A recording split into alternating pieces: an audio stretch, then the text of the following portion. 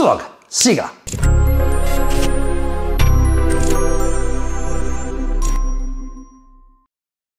Allora, come promesso, in questi giorni mi sto scatenando con le recensioni, devo recensire ancora Judas and the Black Messiah, poi anche Marlenis Black Bottom, se riesco eh, recensirò quella notte a Miami, ma oggi voglio parlare di un film che è effettivamente candidato agli Oscar, seppur solo nella categoria migliori effetti speciali, e lo trovate su Netflix. Mi riferisco al 21 per la regia di Michael Matthews ed è Love and Monsters. In tanti mi avete chiesto di parlare di questo film, non potevo non farlo.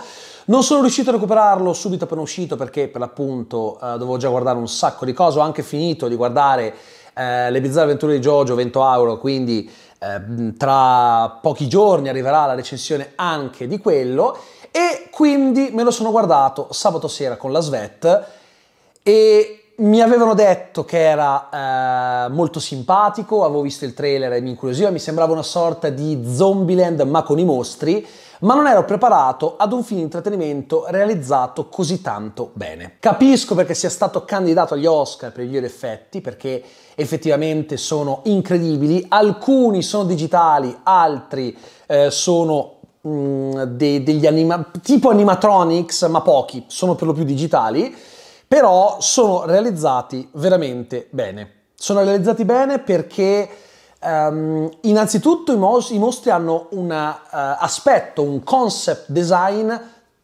che è fenomenale, ma poi um, si integrano bene con l'ambiente circostante, reale. A parte un paio, in un paio di occasioni ho pensato, mm, questo effetto non è la cosa migliore, ma spero onestamente che possa vincere perché è davvero tanta roba da quel punto di vista. Come film in sé, eh, che dire, è divertentissimo. È un film divertente perché ha una trama semplice, abbastanza lineare, con eh, una storia di formazione, perché il protagonista è, è, questo ragazzo interpretato da Dylan O'Brien, la star dei film eh, di Maze Runner, un attore che eh, lavora meno di quanto meriterebbe, a mio modesto parere, e che qui è stato veramente bravo, perché questo personaggio mi ha divertito un sacco. Il suo nome è Joel ed è eh, questo povero uh, Cristo che si è ritrovato nell'Apocalisse e è mm, bravo, volenteroso, ma non è sicuramente la persona a cui fideresti la sicurezza eh, di chi gli sta intorno, mentre tutti si sono dovuti indurire, eh, diventare esperti di caccia e di difesa, perché per l'appunto ci troviamo in un mondo in cui i mostri hanno preso il sopravvento e non vi dico il perché, ma la motivazione è tanto semplice quanto efficace, lui invece è rimasto un ragazzino spaventato, una persona che eh, per quanto sia ben voluta da tutti è considerato un po' un, insomma, eh, un incapace, ecco. Ed è brutta come cosa. E quindi il film è eh, la storia di come lui, per un motivo eh, sicuramente importante, perché comunque tutto quello che fa lo fa per ciò che muove mm, il mondo da sempre, ovvero la figa, eh, ti mostrerà appunto come lui intraprenda questo viaggio di crescita eh, personale e deve buttarsi nella realtà dopo anni e anni in cui eh, ha cercato di rifugirla, ehm, mai affrontandola e quindi è bello perché noi vediamo quello che c'è fuori dal bunker in cui vive il personaggio con lui per la prima volta perché lui non eh, sa effettivamente come sia il mondo lì fuori al di là di quello che ha visto poco prima di rifugiarsi nel luogo dove poi sarebbe stato per anni, non è conscio di come il mondo sia cambiato in tutto quel tempo. Quindi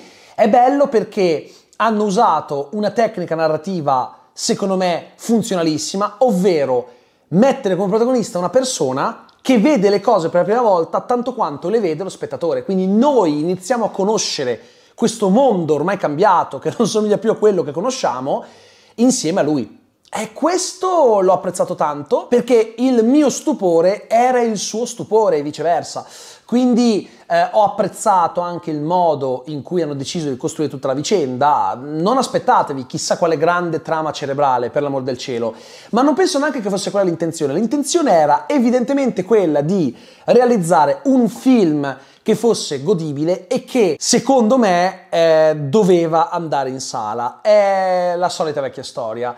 Eh, viene prodotto un film, ci sono problemi produttivi, non si sa se il film eh, la major lo vuole mandare in sala o meno e poi a un certo punto arriva Netflix, Netflix che dice salve, eh, lo compriamo noi. E quindi la Paramount, esattamente come era accaduto per il processo di Chicago 7, mi pare fosse Paramount, eh, magari mi sbaglio, ma comunque la dinamica è stata la stessa, ha venduto eh, il film per la distribuzione a Netflix. Non so se negli Stati Uniti d'America sia andato in sala, forse in qualche sala ci è andato, qua no perché le sale sono chiuse, ma comunque è un po' un peccato averlo visto in televisione perché questo, anche in virtù dei grandi effetti eh, che mette in scena sarebbe stato da guardare eh, in sala, però non importa, non importa perché comunque me lo sono goduto alla grande ed è un film con eh, alcuni personaggi che mi sono piaciuti, al di là di Joel che eh, è un personaggio in cui mi medesimo molto perché io sono sempre stato da tanti, da tutti per l'amor del cielo, ehm, considerato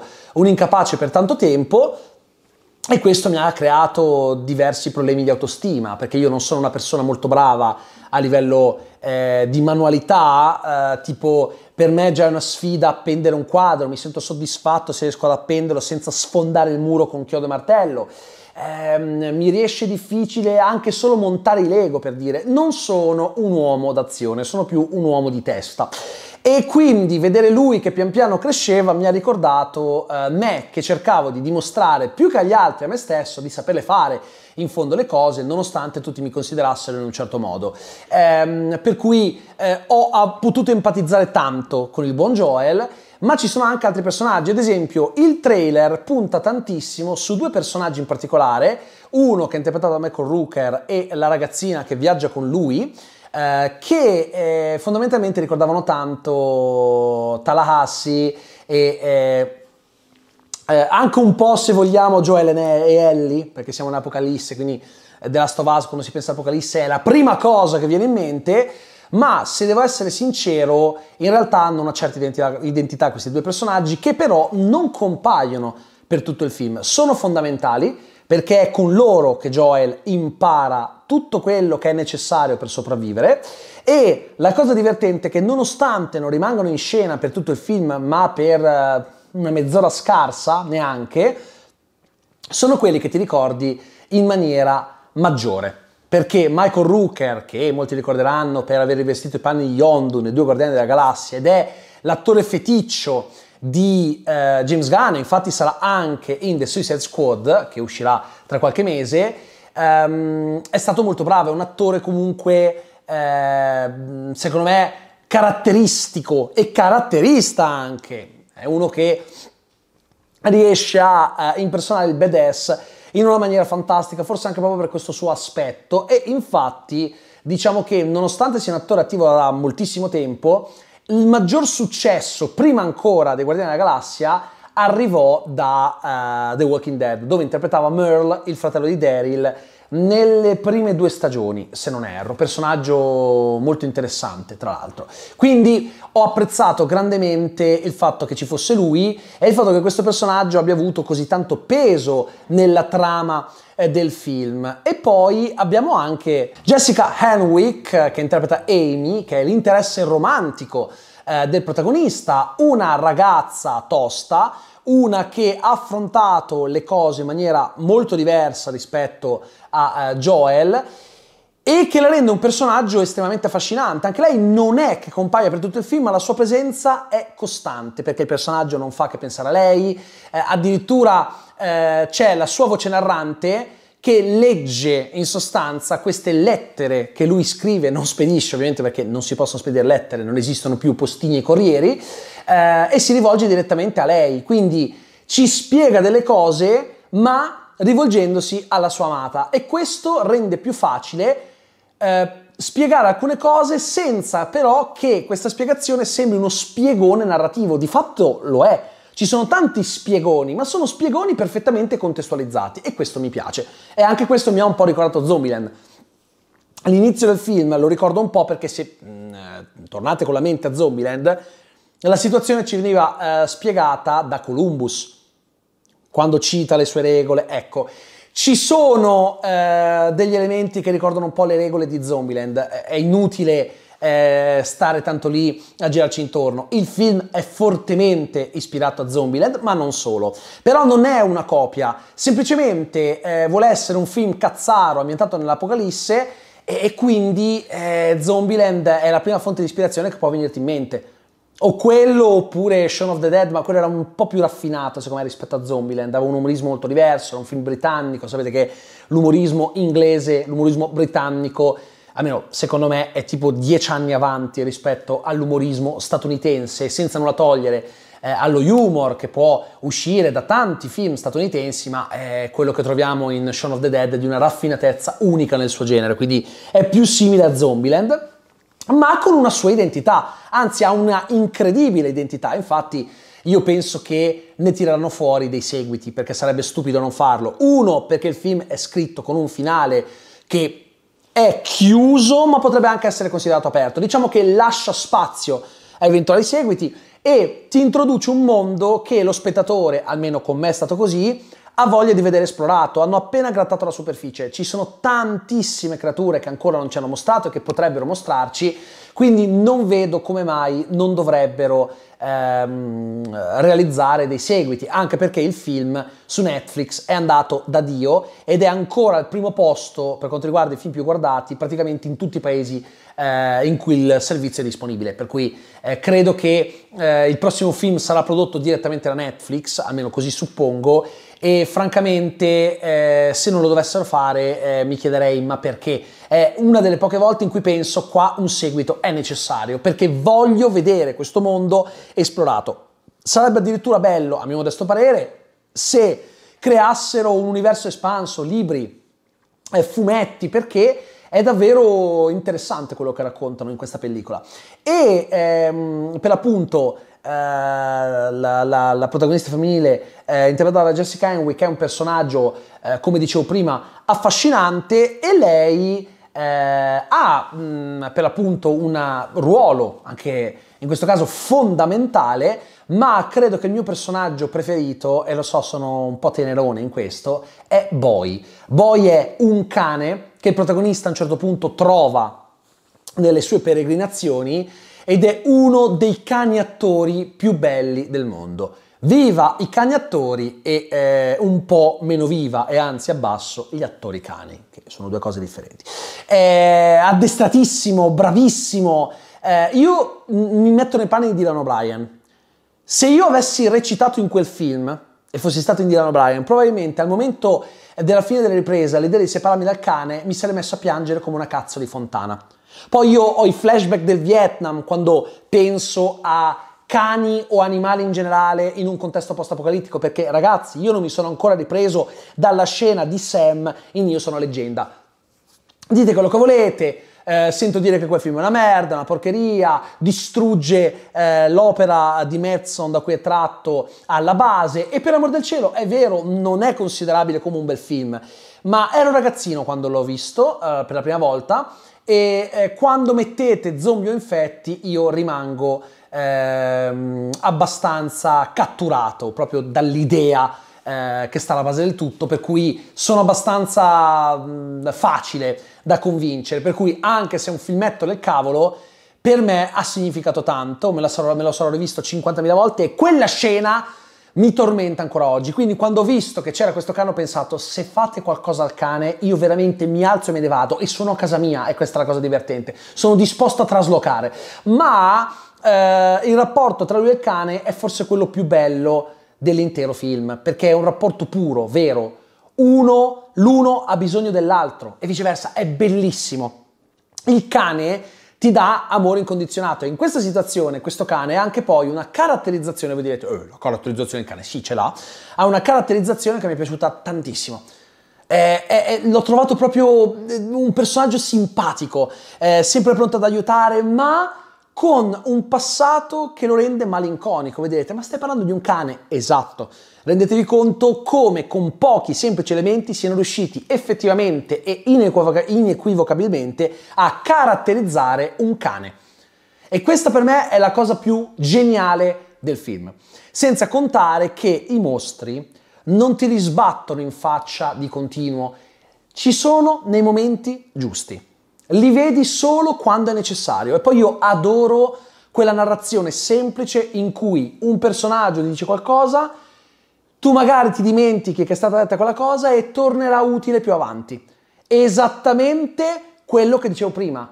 Il protagonista impara le cose insieme a te spettatore e quando ha un'intuizione è la stessa intuizione che magari hai tu in quel momento. Dici ma aspetta, ma non era stato detto che... E un secondo dopo il protagonista si accorge di quella cosa. È bellissimo non è semplice creare un'immedesimazione tale con un personaggio, ragazzi. Eh?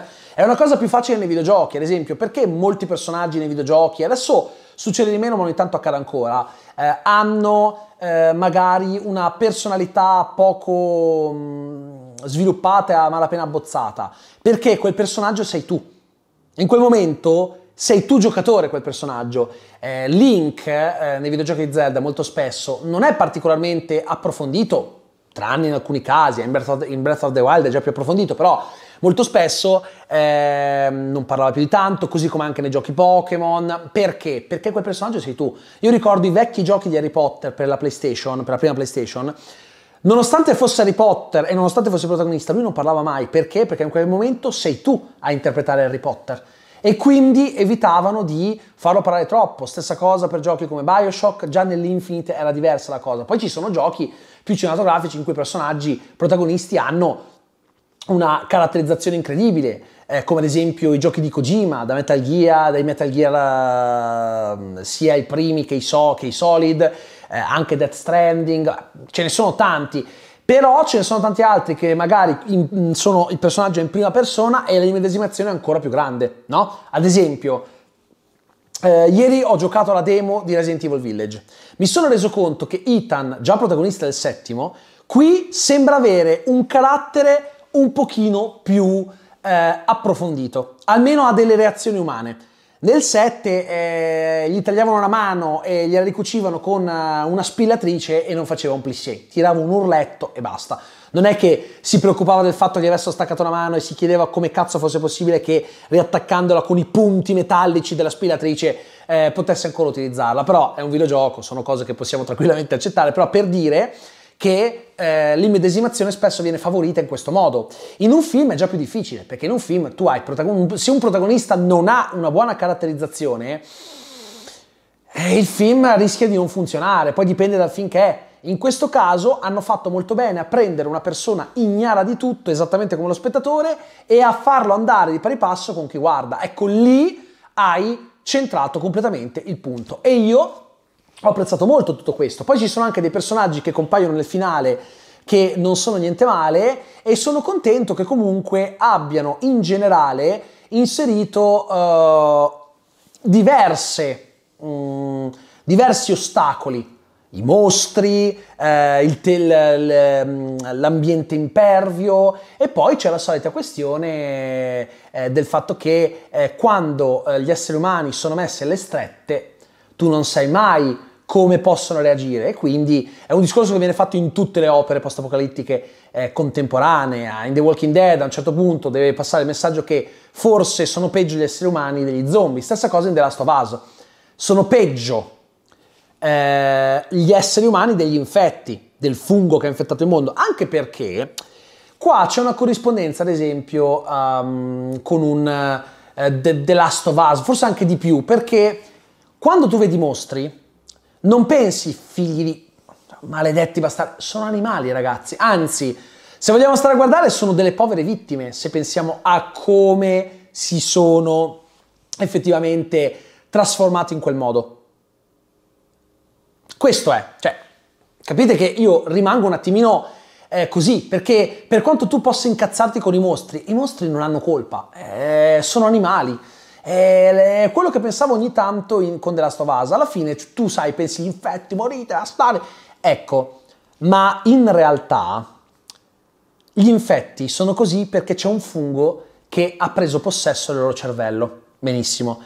Il fungo non è cattivo, è una creatura vivente molto semplice, che non è neanche in grado in realtà di pensare, che fa l'unica cosa che eh, deve fare, ovvero espandersi, crescere, riprodursi. Questo è. È la natura, è la natura che a un certo punto si è rivoltata e, eh, e l'essere umano è sceso nella catena alimentare, è sceso ehm, più in basso, però alla fine è la natura, cioè capito? È, sono più pericolosi gli esseri umani. Eh, quello sì, perché lì decidi di fare certe cose terribili. E quindi eh, l'ho trovato un film che mi ha fatto anche riflettere in un certo senso, quindi m- mi è piaciuto. Mi è piaciuto, l'ho apprezzato, eh, una bella colonna sonora tra l'altro, mi è piaciuta. La regia, la regia mi è piaciuta perché le scene eh, di combattimento, le scene action sono dirette bene. Cioè è un film diretto con mestiere. Cosa significa un film diretto con mestiere? Allora, l'autore è colui che nella regia, nella costruzione delle scene, delle inquadrature, nel mostrarti e raccontarti la storia, ci mette un'impronta molto personale, ha un suo stile specifico. Il mestierante è colui che sa fare bene il mestiere, è un regista che sa utilizzare bene le proprie conoscenze, sa, muo- sa, muovere e far muovere agli operatori bene la macchina da presa, sa dirigere in maniera decente gli attori, un mestierante. L'altra sera mi sono riguardato Captain America Um, uh, il primo Vendicatore. Non lo riguardavo da una vita, l'avevo visto una volta sola in sala, erano dieci anni che non lo guardavo. Mi sono so- sorpreso a vedere quanto fosse diretto con mestiere. Non ha una regia che ti fa pensare, oh là là, che film della Madonna, ma è una regia degna di tre nome. Dici, oh, ma è, non è diretto male, è diretto con una certa perizia da Joe Johnston, già regista di Jumanji, che comunque, il primo, quello con Robin Williams, che comunque è un bravo mestierante. E questo Michael Matthews non sarà questo gran registone, ma è un bravissimo mestierante, uno di quelli che ehm, ti sanno far bene il compitino e vanno magari anche leggermente oltre il semplice compitino, ti creano un film completo. Ad esempio, un altro mestierante che secondo me non è bravo come un Michael Matthews o un Joe Johnston è David Yates. David Yates è uno che eh, quando gli dicono eh, salta, lui ti chiede sì ma quanto in alto. Cioè la Warner dice devi fare così il film e lui lo fa così.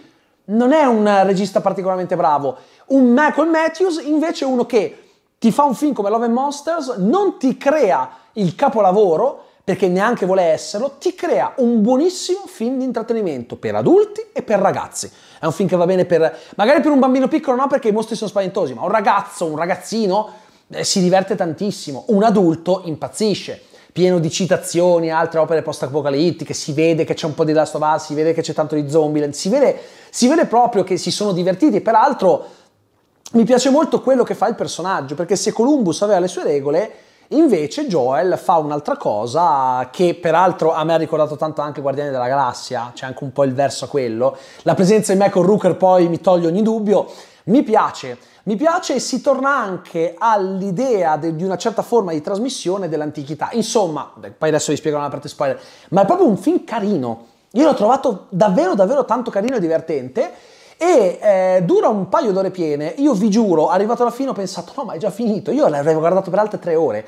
Perché è proprio interessante quello che ti mostra. È bello quello che eh, vedi. Poi, una cosa la posso dire.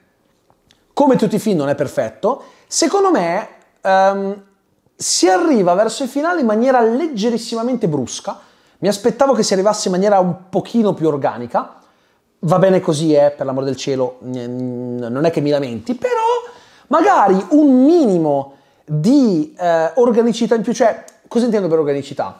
Non mi sembra naturale che si vada verso la parte finale, non proprio il finale, ma poi gli ultimi 20, 20 minuti, mezz'ora in quel modo lì.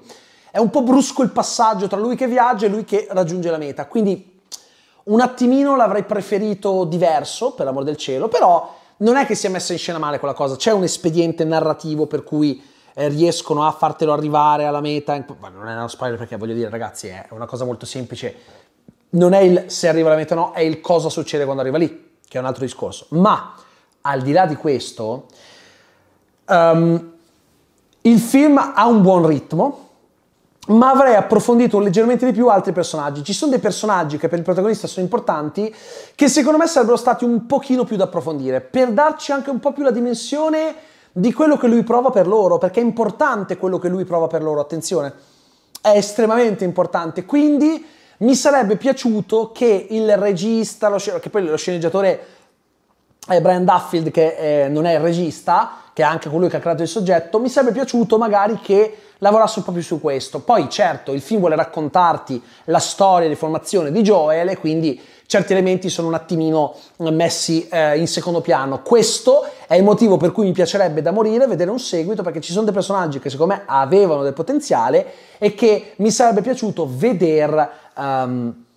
esplorati. Non mi è dispiaciuto neanche l'utilizzo del flashback che non è mai troppo invasivo e anche lì avrei voluto vedere più nello specifico certe cose che ci sono solo vagamente raccontate. Chissà che più avanti in un eventuale nuovo film che ancora non è stato annunciato se non sbaglio eh, non ce le mostri in maniera un pochino più diretta, anche perché poi un seguito tu non sei per forza costretto a farlo con ancora Joel come protagonista. Joel può essere un personaggio che a un certo punto arriva, ma non deve essere necessariamente un, uh, il, protagonista assoluto, può essere un'altra storia ambientata in questo mondo, magari in un altro momento, eh, e poi si collega a ciò che abbiamo visto uh, nel, um, nel, nel, film precedente. Perché no? Tra l'altro, faccio notare, prima ho detto che c'è un po' di ispirazione a, a The Last of Us. Io non credo che il fatto che il protagonista si chiami Joel sia uh, una, un caso. Penso che eh, ci sia un motivo ben specifico, penso che sia proprio un riferimento al Joel di The Last of Us, ma ci sta anche per amor del cielo. Quindi è un film ben confezionato, eh, con un buon lato tecnico, una buona sceneggiatura e fa esattamente quello che si era prefissato di fare, ovvero intrattenere in maniera simpatica per circa due ore lo spettatore facendogli sperare che il film duri di più. Io quando ho visto che il cursore stava arrivando alla sua fine ho detto ma io voglio saperne di più, io voglio saperne di più, voglio vederne ancora, porca puttana.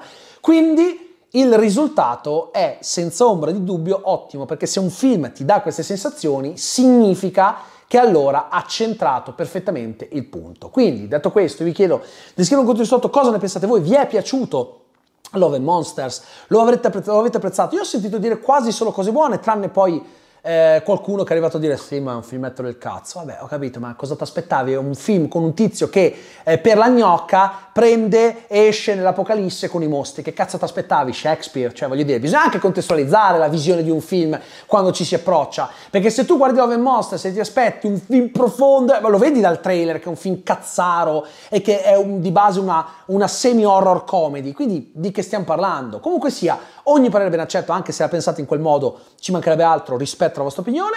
Se fate spoiler, mi raccomando, nei commenti, eh, digi- um, mi raccomando, eh, avvisate, no? eh, inserendo la dicitura spoiler prima del, de, dell'inizio del commento, quindi vi abbraccio. Grazie mille per tanto, ma tanto, ma tanto bene. Noi ci vediamo al prossimo movie vlog se il film l'avete visto. Se invece il film l'avete visto e avete sapere nello specifico, gli spoiler iniziano tra 3, 2, uno. Allora, a me è piaciuto molto il fatto che eh, Joel all'inizio del film racconti attraverso i suoi disegni ehm, quello che è successo ed è bella, è interessante come idea, cioè eh, un asteroide stava per colpire la Terra, eh, gli vari eserciti del mondo l'hanno bombardato con i missili nucleari che effettivamente hanno distrutto l'asteroide, questo meteorite che eh, non ha distrutto la Terra, peccato che tutte le scorie radioattive che sono piovute pian piano sulla Terra tornando indietro dai missili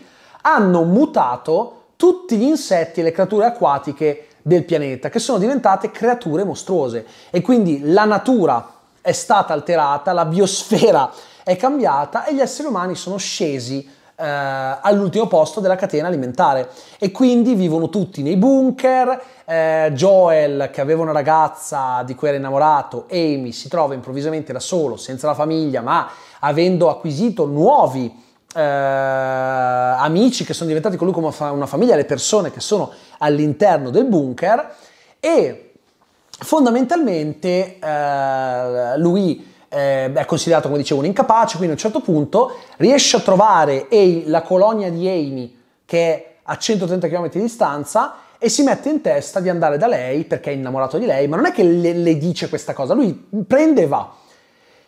I personaggi che avrei voluto vedere esplorati meglio sono proprio gli abitanti della colonia di Joel, a cui lui è molto affezionato e addirittura a un certo punto torna indietro per loro. Il fatto è che sono effettivamente interessanti a livello superficiale, ma non molto esplorati perché non era il loro film. Loro sono dei personaggi di contorno, ma mi sarebbe piaciuto vederli un pochino più approfonditi. Mi avrebbe divertito tantissimo, ne sono convinto. Quindi cosa succede? Che quando Joel esce, lì inizia l'esplorazione vera e propria e siamo noi, cioè ti fa per la prima mezz'ora un discorso di contesto, sai cosa puoi aspettarti, ti fa vedere uno di quei mostri che entrano nel bunker, una specie di formicone nemmeno tra i più grandi che viene ammazzato, Joel si paralizza per la paura e capiamo che questo viaggio sarà difficile per lui, tant'è vero che quando lui esce tutti quelli della colonia dicono dai Joel mi raccomando non farti divorare, eh, mi raccomando perché ah, loro sono convinti che questo muore, perché effettivamente per come lo vedi all'inizio del film non sembra eh, molto del mestiere. Poi eh, incontra questo rospo gigante che quello è uno dei pochi effetti che non mi hanno convinto più di tanto, però il formicone, il masticone, la lumacona, il granchio alla fine, quelli mi sono piaciuti un sacco. Il, il mille piedi che incontra nel, nel, campeggio abbandonato è spettacolare, ha degli effetti, questo film che sono incredibili. Um, è bello che quando lui incontra il personaggio Michael Rooker e la ragazzina, nel giro di poco inizia a capire quello che deve fare e lui sta creando un bestiario. Ogni mostro che vede lo disegna e scrive punti deboli, caratteristiche, tutto quello che impara e il personaggio Michael Rooker pian piano inizia a insegnargli delle cose importanti e una cosa che adoro è che questi insegnamenti tornano quando lui è in situazioni di pericolo. Ad esempio, quando alla fine c'è il granchio gigante, eh, e questa cosa è bella perché anche io.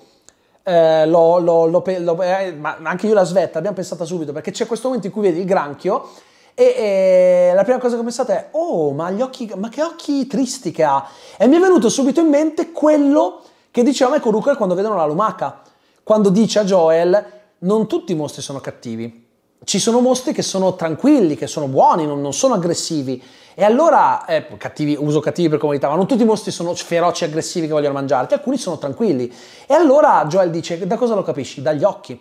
E nel momento in cui lui vede il granchio, gli occhi del granchio, pensato, abbiamo pensato sì, io la cazzo, ma ha gli occhi tristi. E ci è venuto in mente, ma quindi non è cattivo. E infatti è quello che viene in mente secondo dopo al personaggio che spara la catena, lo libera e lo manda a uccidere i bastardi dello yacht, che sono dei cattivi non caratterizzati, perché hanno solo la funzione di far vedere che anche gli esseri umani possono essere pericolosi, ovviamente. Però è bello come, ad esempio, a un certo punto gli arriva la roba da mangiare eh, da, da, parte del, di Cap, del, del, del cattivo, no? il capitano dello yacht, lui fa per prendere la bacca e si ricorda che è la bacca che aveva, che, che il cane Boy ehm, gli aveva impedito di mangiare iniziando ad abbaiare. E allora lui capisce che probabilmente lo hanno fatto apposta e stanno cercando di avvelenarlo. Quindi tutto lo scontro finale con loro che riescono a eh, liberare il granchione eh, che va poi eh, dal tizio dello yacht, dai tizi dello yacht a mangiarseli perché lo hanno schiavizzato per far eh, per far andare la barca, no? lo usavano come animale da soma sostanzialmente.